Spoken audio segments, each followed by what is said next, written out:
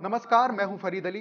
जब भी दुनिया के सबसे क्रूर तानाशाहों का ज़िक्र होता है तो सबसे पहले जर्मनी के पूर्व तानाशाह एडोल्फ हिटलर का नाम जहन में आता है और दिल में एक सवाल उठता है कि आखिर हिटलर जैसी शख्सियत का मालिक यूरोप के एक शिक्षित देश, जर्मनी का हुक्मरान और लाखों दिलों का चहेता कैसे बन गया?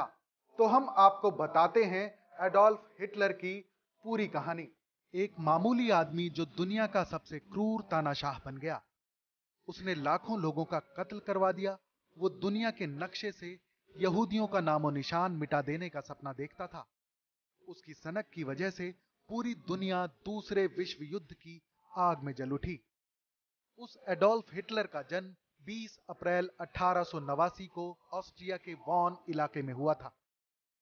उसने अपने पिता की मौत के बाद 17 साल की उम्र में ऑस्ट्रिया छोड़कर वियना का रुख कर लिया। हिटलर को आर्ट स्कूल में दाखला नहीं मिला तो वो पोस्ट कार्डों पर तस्वीरें बनाकर गुजर बसर करने लगा। 1914 में जब पहला विश्व युद्ध हुआ तो म्यूनिक में रह रहे हिटलर ने सेना में भर्ती होकर फ्रांस में कई लड़ाइयों में हिस्सा लिया। एक लड़ाई के दौरान घायल होने पर हिटलर को अस्पताल में भर्ती रहना पड़ा।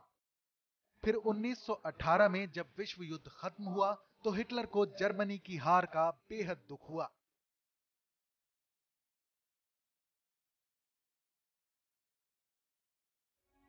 सन 1918 में हिटलर ने नाजी पार्टी बनाई, जिसके सदस्यों में देश प्रेम कूट कूट कर भरा गया था।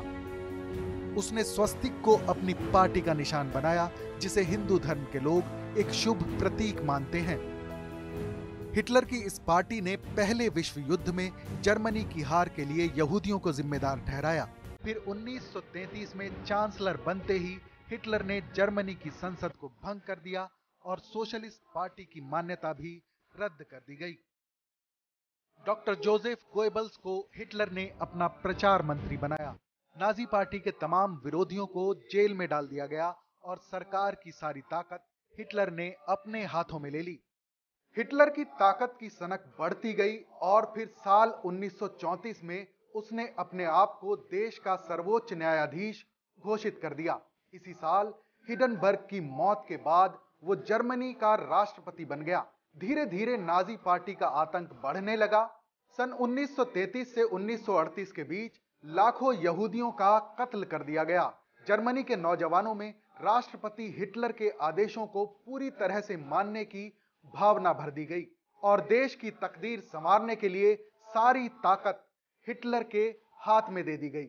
1933 में हिटलर ने लीग ऑफ़ नेशंस को छोड़ दिया और आने वाले युद्ध को ध्यान में रखते हुए जर्मनी की सैन्य ताकत बढ़ाना शुरू कर दिया। 1934 में जर्मनी और पोलैंड के बीच एक दूसरे पर हमला ना करने की संधि हुई। फिर इसी साल ऑस्ट्रिया की नाजी पार्टी ने वहाँ के चांसलर डॉल्फस की हत्या कर दी। इसके बाद रूस, फ्रांस, चेकोस्लोवाकिया और इटली जैसे कई देशों ने जर्मनी की आक्रामक नीति से डरकर अपनी सुरक्षा के लिए आपस में संधि कर ली। इसी दौरान हिटलर ने ब्रिटेन के साथ एग्रीमेंट करके अपनी जलसेना को ब्रिटेन की जलसेना का 35 प्रतिशत रखने का वादा किया। इस संधि का मकसद भावी युद्ध में ब्रिटेन को किनारे रखना था, लेकिन 1935 में ब्रिटेन, फ्रांस और इटली ने हिटलर की ज़्यादा हथियार जमा करने की नीति का विरोध किया। साल 1936 में हिटलर ने बरसाई की संधि को तोड़ दिया और अपनी सेना को पूर्वी फ्रांस में राइन नदी के इलाके पर कब्जा करने के लिए भेज दिया। 1937 में जर्मनी ने इटली से एग्रीमेंट किया और उसी साल ऑस्ट्रिया पर कब्जा कर लिया। इसके बाद हिटलर ने चेकोस्लोवाकिया के उन इलाकों पर कब्जा करने की इच्छा जताई, जहाँ ज़्यादातर निवासी जर्मन थे।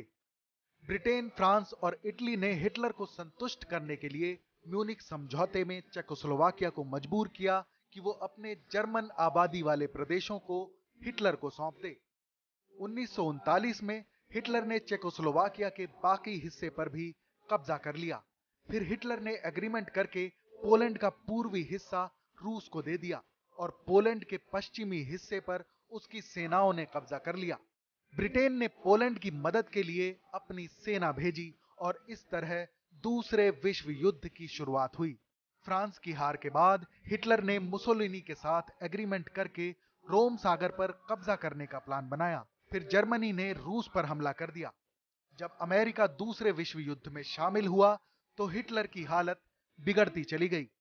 हिटलर के सैनिक अधिकारी उसकी नीतियों के खिलाफ होने लगे थे और उन्होंने हिटलर के खिलाफ साजिश रचनी शुरू कर दी थी। जब रूसियों ने बर्लिन पर हमला किया तो डर के मारे हिटलर अपनी चांसलरी में बने एक बंकर में छुप गया था। हिटलर को इटली के तानाशाह बेनिटो मुसोलिनी की मौत की खबर मिल चुकी थी। मुसोलिनी को जैसी जिल्लत भरी मौत मिली, हिटलर को डर था कि कहीं उसके साथ भी वैसा ही सुलूक न किया जाए। इसलिए 30 अप्रैल 1945 को हिटलर ने खुद को गोली मारकर आत्महत्या कर ली। जल्द ही फिर मिलेंगे एक और डिक्टेटर की कहानी के साथ। तब तक आप देश और दुनिया की तमाम बड़ी खबरों के लिए देखते रहिए टीवी नाइन भारतवर्ष।